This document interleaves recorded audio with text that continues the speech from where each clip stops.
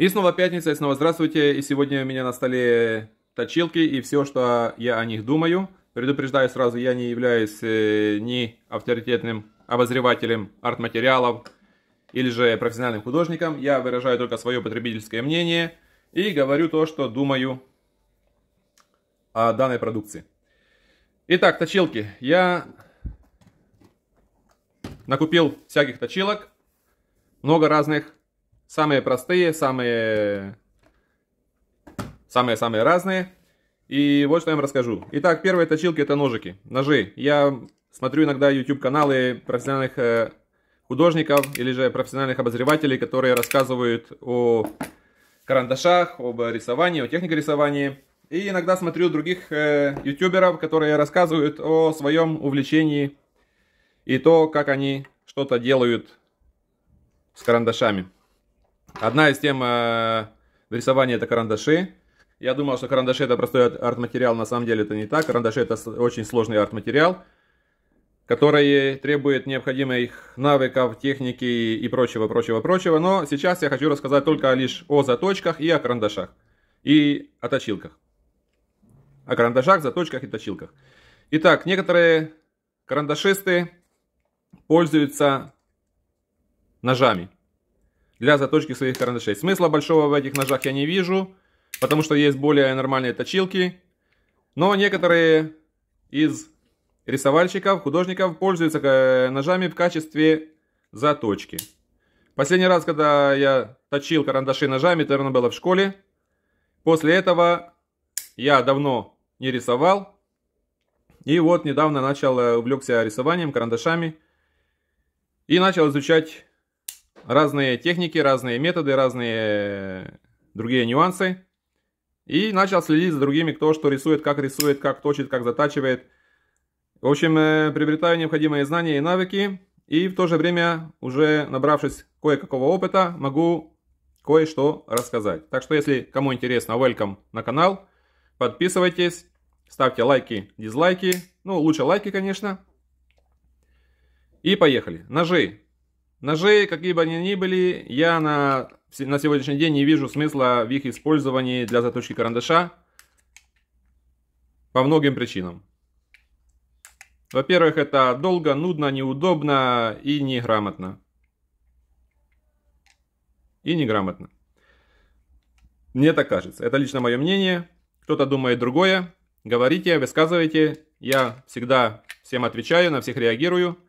Так что пока что ножи в сторону. Я ножами не пользуюсь.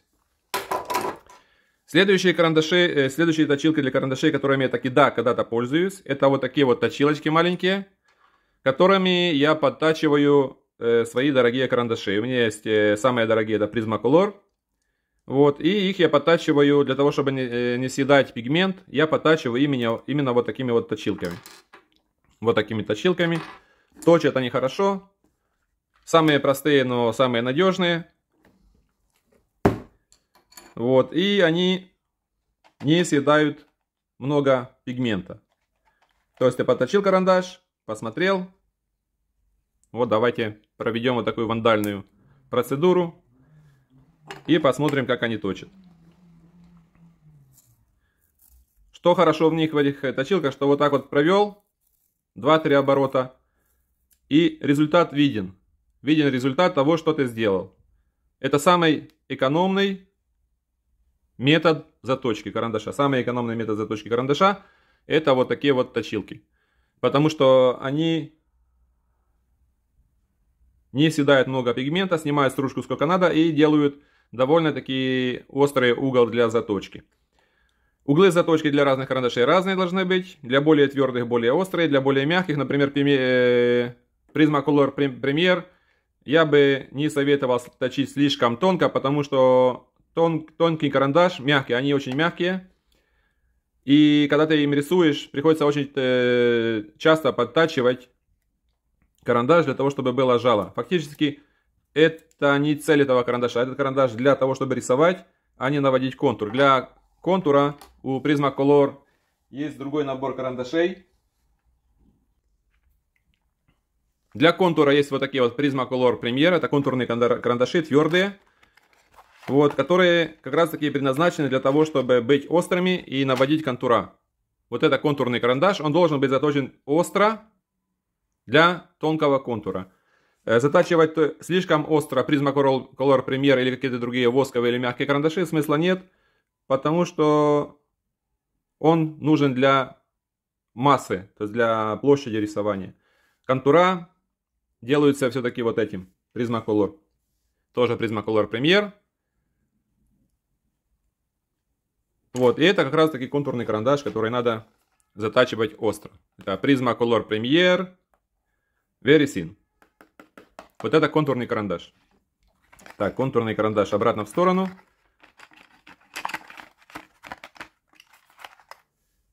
И вот этот карандашик, да, видим сделали. Так что вот эти точилки, самые простые, всегда должны быть под рукой для заточки дорогих карандашей, или же хотите экономно обращаться со своими карандашами.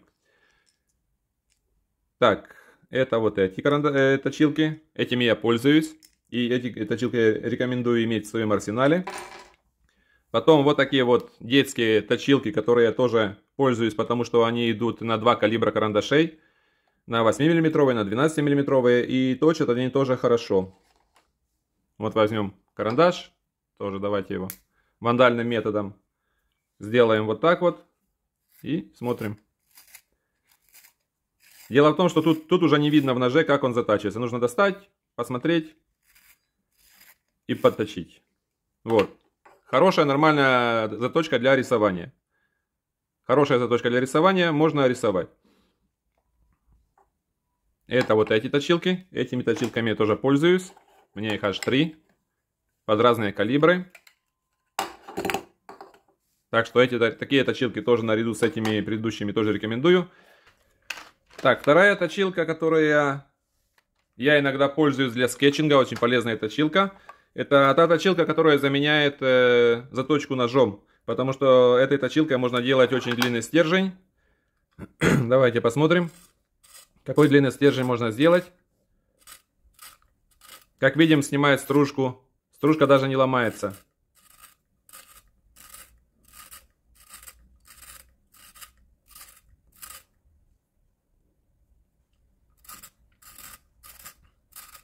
И смотрим, какой стержень сделала эта точилка. И вопрос, зачем вам нужен нож для того, чтобы сделать вот такой вот стержень. Ну, а подправлять стержень можно уже на наждачной бумаге, на других шероховатостях, кому как нравится. И вот такая вот заточка, очень хороша для скетчинга. Так, если засунуть, давайте посмотрим, какую стружку снял этот ножик. Вот вам качество работы точилки. Дешевая китайская точилка с Алиэкспресс. И вот вам стружка, которую можно использовать в качестве какого-то арт-материала. Вот так вот снимает стружку. Это точилка. Пользуюсь и тоже рекомендую. Так, если поставить сюда в более крайнее отверстие, в, это, в этом мы сейчас точили. Первое отверстие это на 6 мм вроде карандаш, это на 8, 8, 8 но тут что-то по-китайски написано. А, вот по-английски SML. SML. SML. И что это значит, я не знаю. Так. Вот давайте поставим сюда и посмотрим, что она подтачивает дерево, но не точит грифель. Делает заточку вот такой вот. Такую заточку ножом Делать очень можно, конечно, но делать очень тяжело и смысла большого я не вижу в использовании ножа для вот таких вот заточек. Так, эти точилки рекомендую, пользуюсь. Следующая точилка, это моя самая любимая точилка. Это вот эта Дели, ручная фрезерная точилка, которая, которой я пользуюсь для всех видов карандашей. Вот, и работает она просто отлично. Работает она просто отлично. Тоже вандальный метод. Ради этого видео я могу пожертвовать кончиком точилки, э, кончиком карандаша.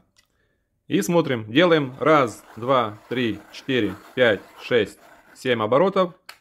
И у нас выходит хорошая точилка. Что хорошо, что хорошо вот в этой точилке конкретно, то что это все чувствуется, сколько нужно снять. Достал, провернул, посмотрел. То есть лишнего вы тут не снимете. Хотя тут есть автостоп на точилке, это упор, когда стержень заточен. Он упирается в стопор, там вот так вот упирается в стопор, и точилка дальше не точит, но я так не делаю.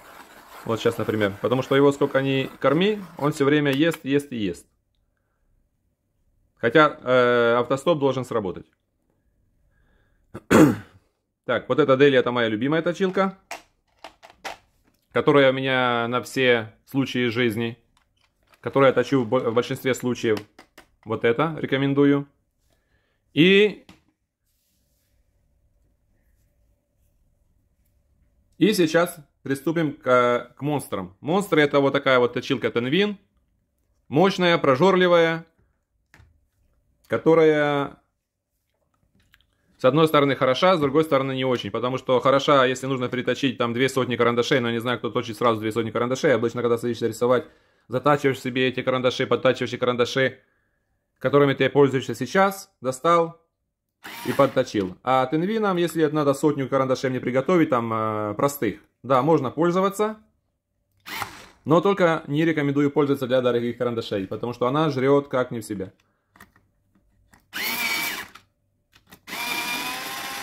Тут тоже есть автостоп. Вот, э, карандаш заточился. Видим, да? Карандаш заточился, и все. И он остановился, он дальше не точит заточка. Этот я пока трогать не буду. Для сравнения, вот этот можно. Но в то же время, тут ну, э, на этой точилке не нужно полагаться на автостоп, потому что можно переборщить и съесть лишнего. Поэтому эту точилку для дорогих карандашей я бы не рекомендовал. Все-таки дорогой карандаш он дорогой.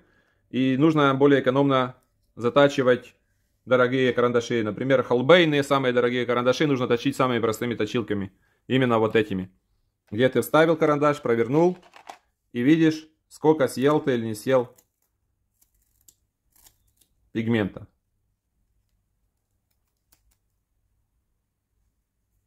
Так. И следующая точилка на, у меня на столе. Это тоже Тенвин.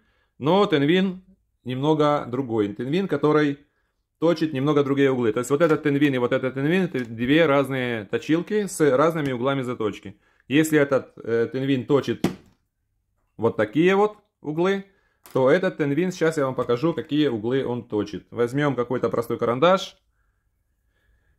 Где у меня коробка простых карандашей? Возьмем простой карандаш. Он уже заточен. Тут есть два переключателя на угол больше на угол меньше.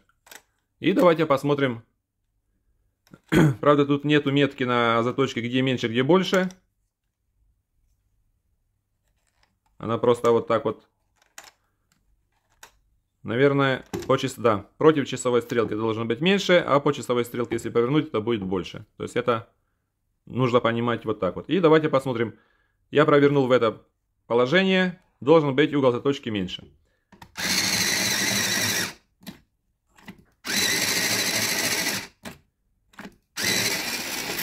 Все, остановился. Заточил до автостопа. Вот угол заточки. На положении меньше. А сейчас для сравнения возьмем другой карандаш. И сделаем другое положение. Вот. И затачиваем.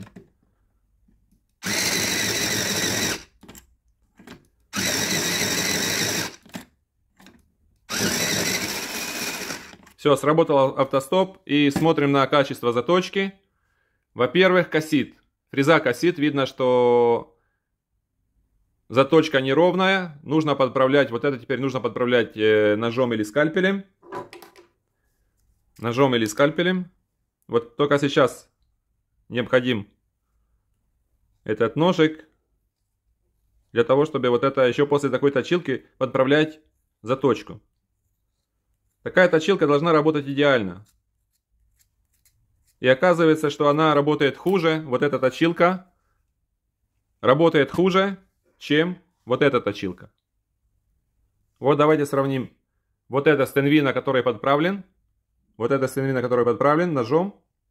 И вот это с дешевой точилки за пару шекелей. Вот это с дешевой точилки, а вот это стенвина. Подправлял ножом. И вердикт. Судя по моему опыту, смысла в приобретении тенвина вот этого я большого не вижу. Смысла большого приобретения тенвина вот этого я тоже не вижу. Если вы, конечно, не точите каждый день по сотне карандашей простых, не дорогих, а простых карандашей, можете взять. Но большого смысла я в этом не вижу. А то, что я мог бы порекомендовать вам, так это вот, вот это точилка Дели механическая. Вот эти точилки для скетчинга работают лучше, чем Tenvin. И, соответственно, вот такие вот детские точилки, она, они никогда лишними не бывают. Вот эти точилки для дорогих карандашей лучше всего подходят. Если у вас холбейны, карандачи, там э, Faber-Castell, лучше вот таких накупить точилок. Они стоят э, копейки и точат намного-намного лучше. Намного-намного лучше. У меня еще раз попробовать заточенных карандашей нету. Ну давайте еще попробуем. Пожертвуем еще одним карандашиком на благо искусства. Делаем вандальный перелом. И смотрим. Раз, два, три, четыре, пять. И все. И вот вам заточка. Сколько ушло пигмента? Смотрите, это все пигмент. Это все пигмент который идет в труху, который идет в мусор. А его нужно экономить, потому что этот пигмент это самый дорогой, самое дорогое в карандаше. Так что, если у кого-то есть другие мнения, высказывайте. Всегда рад буду послушать, принять опыт у других. Но на данный момент я вот пришел к такому заключению, что мое положение с точилками именно вот такое. Если сможете меня в чем-то переубедить, пожалуйста. Задавайте вопросы, всегда всем отвечаю. Всегда на всех реагирую. Давайте учиться рисовать. И всем желаю успехов в творчестве. Все, спасибо за просмотр. До свидания. Заходите в гости.